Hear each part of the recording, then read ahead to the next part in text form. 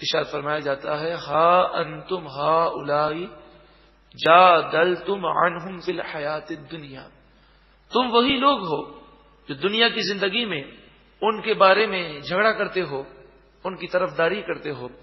ذرا یہ تو بتاؤ کہ آج دنیا میں تم ان کی طرف داری کرتے ہو۔ فمئی یوجاد اللہ عنہم یوم القیامتی، قیامت کے دن ان کی طرف سے اللہ سے کون جھگڑے گا؟ کس کی مجال ہے؟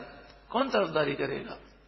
ام میں یقون علیہ وکیلا، یا کون ان لوگوں کے لیے وکیل ہوگا، مددگار ہوگا کل بروز قیامت؟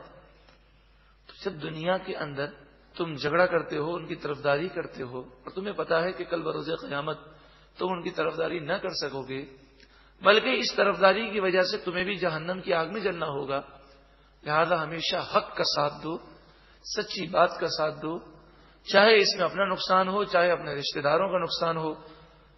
یہ نہ دیکھو، بلکہ یہ دیکھو کہ سچا کون ہے، حق پر کون ہے۔